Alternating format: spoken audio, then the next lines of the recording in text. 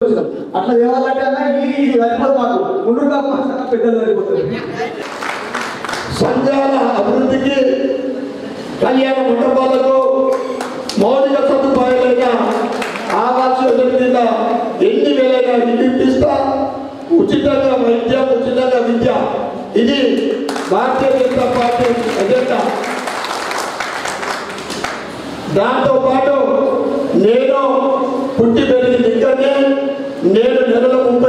రోజులు ఉంటా. నేను మీరు ఎప్పుడన్నా కలవడానికి ఇరవై నాలుగు గంటలు నేను ఎప్పుడు కూడా అందరికీ కూడా అవైలబుల్గా ఉంటా. ఎందుకంటే ఇందూరు నగర ప్రజల కష్ట తెచ్చిన వ్యక్తి నేను. నగరంలో ఉన్న అన్ని డివిజన్ల పైన నాకు అవగాహన ఉంది. మీరందరూ కూడా దయచేసి పెద్ద మొత్తంలో భారతీయ జనతా పార్టీని కమలం పువ్వు ఓటేసి నన్ను గెలిపించాలని మరొకసారి నా దగ్గర కూడా ప్రార్థిస్తాను. ఇక అనేక సంవత్సరాల నుండి వర్గీకరణ విషయం. మా సోదరుడు వెంకన్న చెప్పిండు పదకొండవ తారీఖు నాడు మనం అనుకున్న ఏదైతే సంవత్సరాల తరబడి ఉందో అది నెరవేరబోతా ఉంది. నోటి నోటి ద్వారా నో మోడీ నోటి ద్వారా ఆ వర్గీకరణ విషయం మాదిగా విశ్వరూప మహాసభ పన్నెండవ తారీఖున ఉందో మా నాయకులు ఇక్కడ ఉన్నారు. వాళ్ళన్నీ కూడా చూసుకుంటారు. వెంకన్న కానీ కుమార్ బాలకృష్ణ విష్ణు అందరు కూడా మీకు అందుబాటులో ఉంటారు. మీరు ఎంతమంది పెద్ద సభ్యులు కూడా మీకు చేస్తున్నారు ఎంతమంది అన్నది వాళ్ళు చూసుకుంటారు. కనుక మాకు ఇంకా ఇక్కడ మీతో గడపాలన్నది కానీ ఎక్కడ ఒక ఐదు వందల మంది ఎదురు చూస్తూ ఉన్నారు. ఆ తర్వాత ఇద్దరు అటెండ్ కావాలి. దయచేసి మళ్ళీ ఒకసారి మీ అందరితోటి గెలిచిన తర్వాత ఇదే ఫంక్షన్లో మళ్ళీ ఒకసారి మీ ముందు వస్తాను తెలియదు. ఒక పెద్ద సభ ఒక పెద్ద ఫంక్షన్లో మనం అందరం కూడా తెలుసుకుంటామని అందరికీ తెలియజేస్తాం. భారత్ మాతాకి అన్ని సంఘాల డిమాండ్స్ తప్పకుండా నేను ఒప్పుకున్నా ముఖ్యంగా మీకు కావాల్సిన రెండు డిమాండ్లు ఏదైతే ఉందో సంఘ భవనము కళ్యాణ మండపము. ఎందుకు ఇంకా ధైర్యంగా చెప్తున్నా? ఎందుకంటే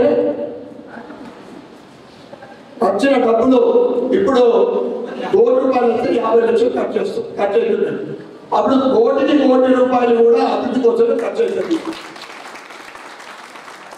కనుక అన్ని హామీలు నెరవేర్చడానికి తప్పకుండా భారతీయ జనతా పార్టీ ఎందుకంటే అన్ని హామీలు నెరవేర్చేటప్పుడు తప్పకుండా నామకు సహకారం చేస్తాం తెలియజేస్తూ ఇంత పెద్ద మొత్తంలో ఇక్కడికి నన్ను పిలిచి సన్మానించినందుకు ప్రతి ఒక్కరు కూడా మరొకసారి పేరు పేరున ధన్యవాదాలు కృతజ్ఞతలు చెప్తుంటూ మరొకసారి మీ అందరికీ కూడా తలవంచి నమస్కరిస్తూ పాదాభివందనం చేస్తూ జై Shriram.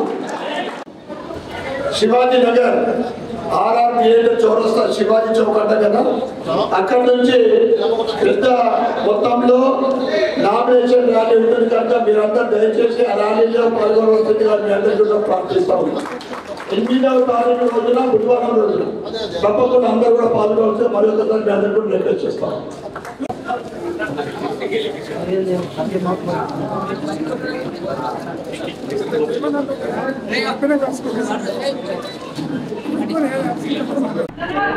అన్ని వర్గాల ప్రజలకు అన్ని సంఘాలకు వాళ్ళ డిమాండ్స్ నేను గెలిచిన తర్వాత ఖచ్చితంగా నేను ఆ కమిట్మెంట్ని పూరిస్తాను అందరికి కూడా నేను హామీస్తాను ఎందుకంటే నాకు దమ్మున్నది కేంద్రం నుండి కానీ రాష్ట్రం నుండి కానీ నిధులు తెచ్చే దమ్మున్నది.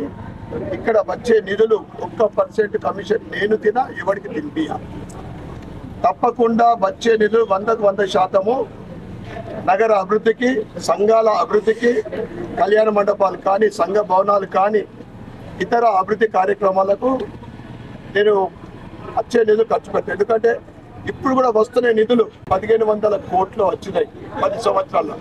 కానీ ఖర్చు అయింది.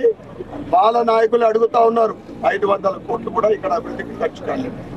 ఇంత అవినీతిమయం వన్ పర్సెంట్ అవినీతి లేకుండా నిధులు తీసుకొస్తా నిధులు అందరికి కూడా సమానంగా నేను ఖర్చు పెడతాను ముఖ్యంగా ఈరోజు ఎస్సీ మాదిగా ఆత్మీయ సమ్మేళనానికి నాకు ప్రేమతో అభిమానంతో పిలిచిన వీరికి నేను ధన్యవాదాలు చెప్పుకుంటా ఉన్నా. సుమారు ఇరవై వేల పైన ఓట్లున్న వారికి ఇప్పటిదాకా ఏ ప్రభుత్వం కూడా గుర్తించలేదు. వాళ్ళకు కనీసము ఒక కళ్యాణ మండపం లేదు సంఘ భవనం లేదు. వాళ్ళ సమావేశం పెట్టుకున్నాలంటే ఫంక్షన్ హాల్ అరువు తీసుకున్నాను ఇది పరిస్థితి. తప్పకుండా భారతీయ జనతా పార్టీ ఇచ్చిన మాట తప్పది దాంట్లో చూడని అసలే తప్పదు.